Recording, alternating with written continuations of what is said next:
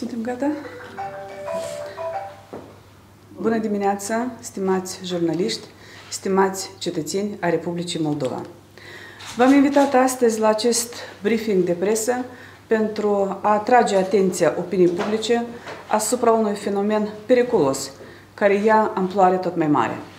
Unele partide și deputați din Parlamentul Republicii Moldova recurg tot mai des la tehnici de manipulare și dezinformare în speranța că vor putea consolida o parte din societate împotriva unor subiecte destul de importante pentru țară, împotriva deputaților constructivi, împotriva deputaților responsabili, care depun eforturi și, de ce nu, care fac compromisuri exclusiv în interesele cetățenilor, astfel ca țara să nu cadă în prăpastie care se adâncește tot mai mult în ultima perioadă din cauza pandemiei de coronavirus. În acest context, să ne spună, îi rugăm frumos pe colegii noștri din Parlament, din alte fracțiuni parlamentare, ce alt motiv mai serios decât coronavirusul și situația dramatică în care se află țara astăzi, când zilnic mii de oameni se infectează și când zilnic zeci de oameni mor, ce alt motiv poate să consolideze, măcar pentru o perioadă scurtă de timp, clasa politică, Parlamentul, pentru ca să găsim împreună soluții. Cât de ipocrit trebuie să fii ca să, găsi, ca să te gândești în această situație destul de complicată la interesele înguste politice. Care este motivul haosului care îl provocați, stimați colegi deputați și lideri de partide politice? De ce insistați pe o agendă care promovează falsuri, care dezinformează cetățenii și care divizează societatea? Oare revenirea SIS-ului sub control parlamentar a meritat eforturile voastre și instigarea la ură? Deputații care acum sunt împotrivă cunosc foarte bine legislația Republicii Moldova și anume că într-o țară parlamentară SIS-ul se supune legislativului și nu președintelui țării. Ori așa cum este normal, această instituție importantă a statului trebuie să fie sub control parlamentar care reprezintă voința tuturor cetățenilor Republicii Moldova și care este format din 101 deputați și nu să fie supus sub controlul unei singure persoane. Fie el sau ea chiar și președinte, care deseori noi vedem că puterea îi face că chiar să-și piardă mințele. Această instituție a fost folosită de multe ori ca monedă de schimb, așa cum s-a întâmplat, de exemplu, acum, nu de mult, atunci când acum au bătut palma pentru coaliția de guvernare. Astăzi lucrurile trebuie să fie aranjate așa cum prevede legea, așa cum prevede Constituția și forma parlamentară de guvernare. Sau uh, dezinformările pe tema legii privind funcționarea limbilor, pentru care, la fel, eu cred că ar trebui să le fie rușine. Este o lipsă totală de responsabilitate să profiți de situația când avem uh, o societate divizată și să minți cetățenii și să le spui că această lege este despre statutul limbii ruse. Stimați cetățeni ai Republicii Moldova, modul perfid prin care aceștia au folosit inclusiv această temă pentru a trezi nemulțumirea cetățenilor și a-i scoate în stradă, arată isteria și disperarea acestor politicieni. Interesele lor înguste de partid dar și că nu sunt deloc mai buni decât cei care nu de mult îi criticau pentru dezinformare, pentru manipulare și pentru despinarea societății. Cetățenii trebuie să știe că proiectul de lege privind funcționarea limbilor în țara noastră, aprobat săptămâna trecută în Parlament, se referă la funcționarea și reglementarea tuturor limbilor vorbite pe teritoriul Republicii Moldova. Toți cetățenii trebuie să se bucure de acces egal la informație, chiar dacă vorbesc și alte limbi. Dar până ce le vom crea condiții acestor cetățeni să învețe limba de stat, considerăm că aceasta este soluția. În paralel, autoritățile trebuie să-și asume responsabilitatea să asigure studierea calitativă de către minoritățile naționale a limbii de stat. și să le creeze condiții necesare pentru ocrotirea și dezvoltarea limbilor minorităților etnice. Un alt subiect, stimați cetățeni, este stadionul republican. Stimați colegi, ce este rău ca acest teren să aparțină statului? Subliniem că Parlamentul a votat joia trecută ca terenul să revină în proprietatea publică a statului.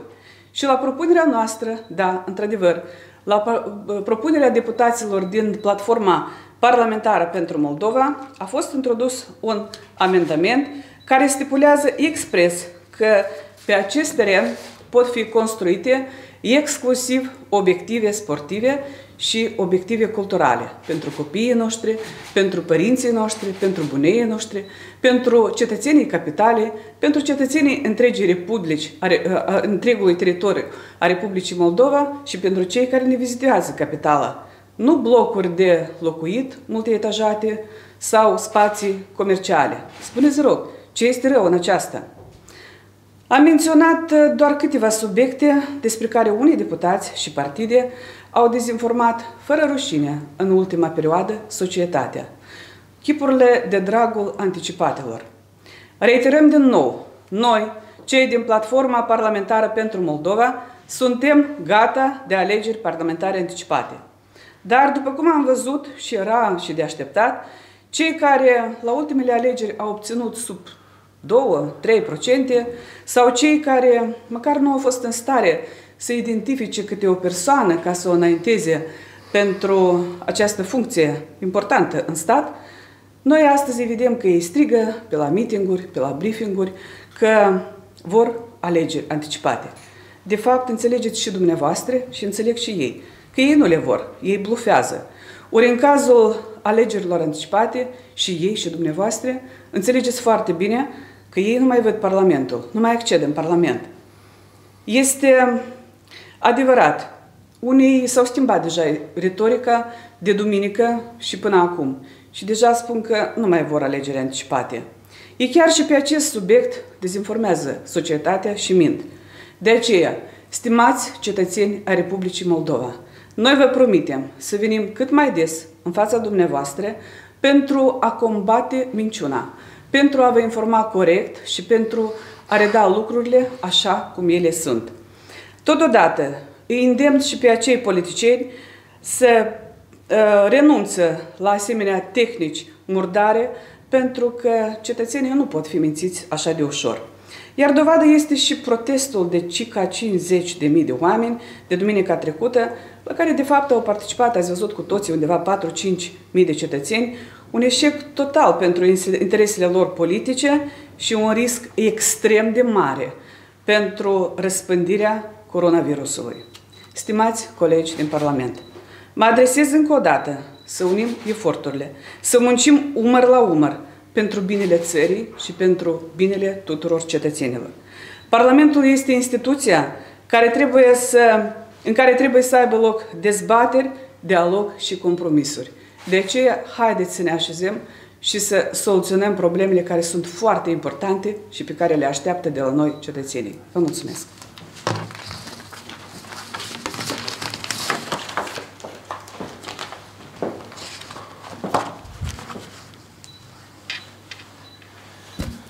Добрый день, уважаемые представители средств массовой информации. Доброго дня всем гражданам Республики Молдова. Сегодня мы считаем необходимым выйти с некоторыми разъяснениями, необходимыми для понимания событий, произошедших в последнее время в парламенте Республики Молдова.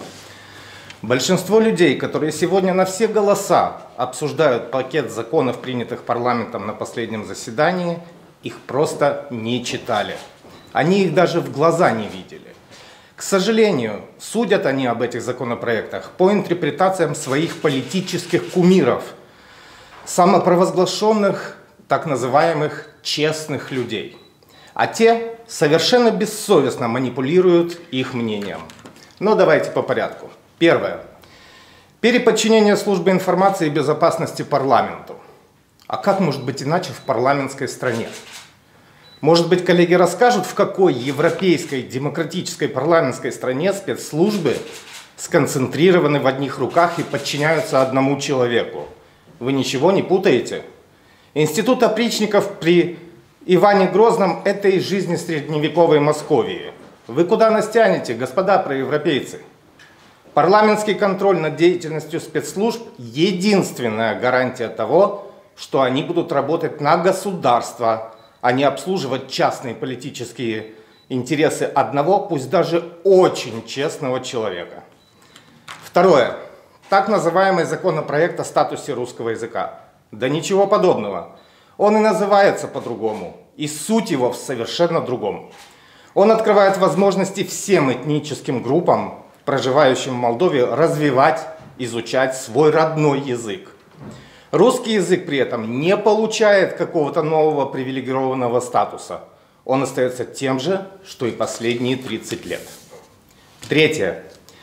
Телепередачи, которые должны вернуться в сетку вещания нашего с вами телевидения, российских и не только российских каналов. К примеру, чем вам не нравятся и не угодили информационные программы Южной Кореи, Сингапура, Австралии? Тут вообще непонятно из-за чего шум. Мы придерживаемся демократических взглядов и не приемлем никакой дискриминации и уж тем более государственной цензуры, которая по закону запрещена в Республике Молдова. Мы идем навстречу пожеланиям избирателей, которые буквально на каждой встрече просят и требуют отменить запрет, неприемлемый в европейском демократическом обществе. Наши люди достаточно мудры, чтобы отличить информацию от пропаганды. Не так ли? Или вы считаете их неспособными на это простое мыслительное упражнение? Или, что более всего вероятно, вы присвоили себе право выбора информации, то есть выбор информации принадлежит так называемым хорошим людям.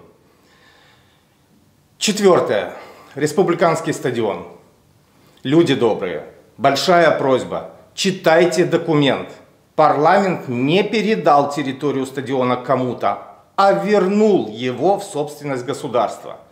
Да, наш лидер заявил, что готов превратить эту полусвалку, полуджунгли в центре столицы в гигантский семейный парк, где все будет бесплатным. И он обязательно сделает это, если ему разрешат и доверят. Но на заседании парламента, еще раз обращаю вашего внимания, было принято решение лишь о том, что республиканский стадион вновь стал публичной собственностью. Более того, из территории иностранного государства он вновь стал суверенной территорией Республики Молдова. Точка. Итак, мы имеем дело с ежедневной и методичной манипуляцией общественным мнением. А по сути, просто обманом и неумелой спекуляцией. И мы намерены столь же регулярно и методично разоблачать обман и выводить мошенников, пытающихся заработать политические дивиденды на искажении реальности и обмане граждан на чистую воду. Спасибо.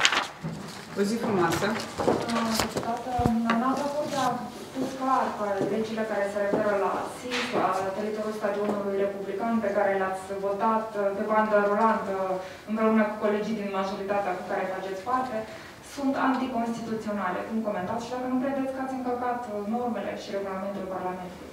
Probabil dumneavoastră nu ați citit corect decizia curții, care, care încă nu este um, definitivă și nu este o decizie uh, care deja a fost aprobată, dar referitor la votul pe bandă rolantă, cum spuneți dumneavoastră, noi am votat toate proiectele bune, orientate pentru uh, dezvoltarea țării, indiferent din care parte vin, din dreapta sau din stânga. O zi frumoasă. Și referitor la asta, domnul republican, aseară Igor Guvern a menționat că Ioan Șor nu va construi acolo niciun obiectiv. Deși astăzi văd că vă lăudați și... Noi încă o dată vă spunem că acest uh, teritoriu a fost întors statului. Și statul va decide de ce nu poate și printr-un referendum ce să facem acolo. Doar că am venit cu un amendament foarte clar Uh, pentru ce, care să fie destinația acestui teren. Încă o dată spun, nu clădiri multietejate, nu centre comerciale, dar obiective culturale și sportive care sunt foarte necesare pentru Republica Acum a ajuns la ușor să se laude că va construi acolo Moldova.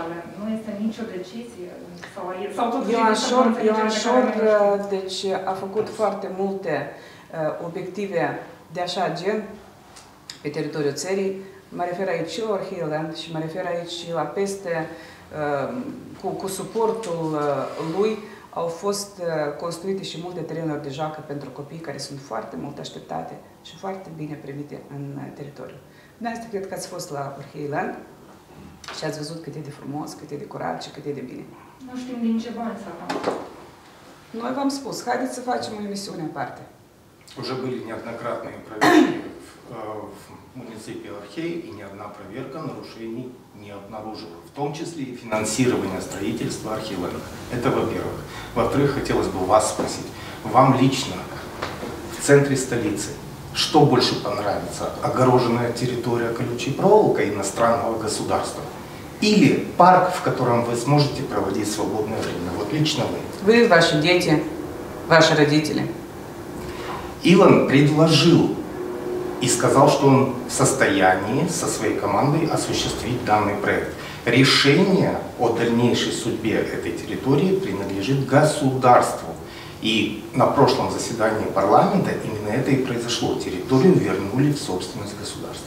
Спасибо.